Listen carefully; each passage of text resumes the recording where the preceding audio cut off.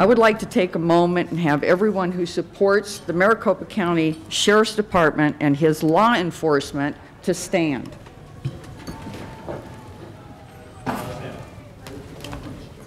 Thank you. I'm going to stand too. Stand too. Many of these uh, operate, Her name is Guillermina Pichardo, and she came to the United States about 19 years ago. She is now a U.S. citizen. She just became a US, U.S. citizen on, Ju- on uh, July 15th, and she came here because she wanted uh, different things from her government. And now you might have not known that she was a U.S. citizen, and Sheriff Arpaio might not know that she was a U.S. citizen, but she feels that because of the color of her skin, Sheriff Arpaio can now interrogate her. She was one of the women that got arrested trying to contact you, trying to speak to you, Supervisor Kunasek, sitting quietly on the chair of a lobby that uh, your, your office is at. Thank you.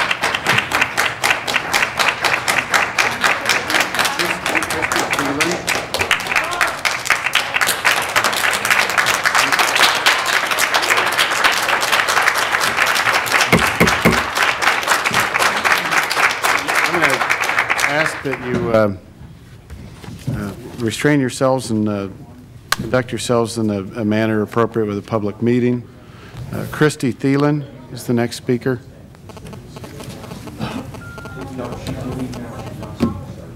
Sir, I'm sorry, we're being asked to leave, but I'm on the public comments. My next speaker is Christy Thielen. Miss, you're not speaking, you're leaving. Sean, take her into custody, please. She was asking you. My name's Christy Tylen. Fine, me one we're more leaving, two up here, it's please. fine. She's leaving, you can't arrest her. Monica Sandschaefer. Sir, I'm sorry, I'm not being allowed to address the county. No, I'm not, no, fine, leave. No, I, I am leaving. Andy, this is getting crazy. I'm trying to leave and they won't let me, they're arresting me, sir. Is this how you run your county? Please stop this. Monica Sandschaefer. That's me, sir. Emmanuel Gallardo.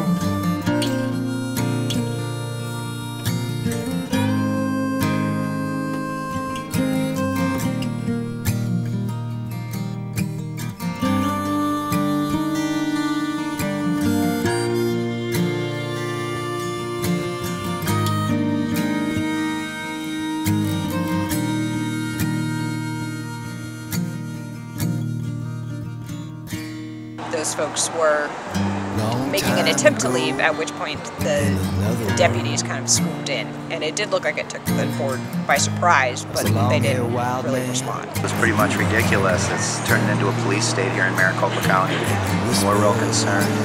It wouldn't happen any other place in this country, and it wouldn't happen even in other countries. Yeah, You know, they didn't even give, give them a chance to like get out of the aisle where they were. They stood up. They were heading out, and somehow they just made a quick decision from like from that morning. Okay, get out, or you're gonna be arrested too. Okay, you're arrested now. Well, they're being charged for disorderly conduct, criminal disorderly, Criminal criminal and, and trespassing. Our rock it turned to sand and now some call me a renaissance man but I'm just a little boy trying to dry his wings and learn to fly I can Well, according to their report, there were four of us. Yeah. Just four of you caught it. Right.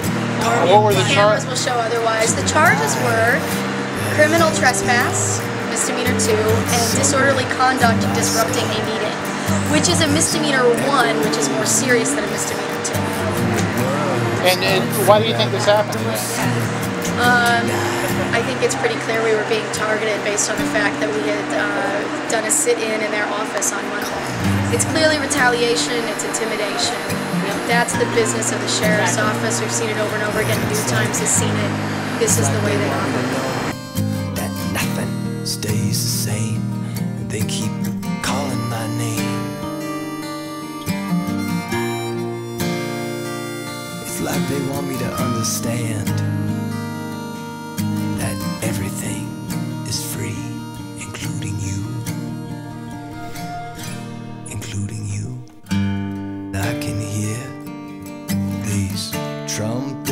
Then they come up and say, oh, I'll throw you under arrest for refusing to leave. I, I don't remember refusing. but is beyond, and somewhere in my skull are these echoes of youth.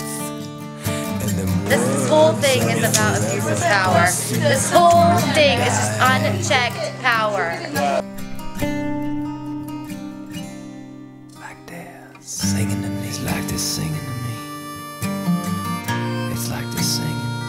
You know what? It's a fading song. And I grow more free. Years after.